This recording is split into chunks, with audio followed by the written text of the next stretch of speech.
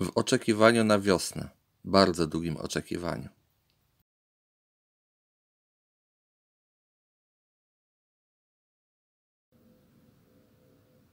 Jedenasty kwietnia. Jak widać, wiosna pełną gębą, wiosna w pełni.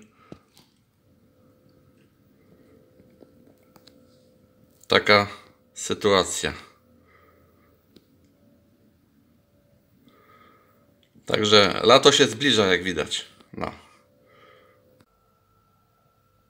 Mamy właśnie poranek 11 maja.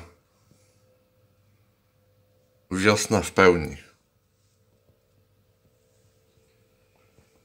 Także taka sytuacja. Dzień, dzień, dzień, dzień, dzień, dzień, dzień, dzień, dzień, dzień, dzień. Dzień, dzień, dzień, dzień, dzień, dzień, dzień, dzień, dzień. Nie, to nie jest Boże Narodzenie, to nie jest grudzień. Co chociażby dowodem na to jest to, że jest widno, bo tam wtedy byłoby ciemno. To jest połowa maja w Tromso.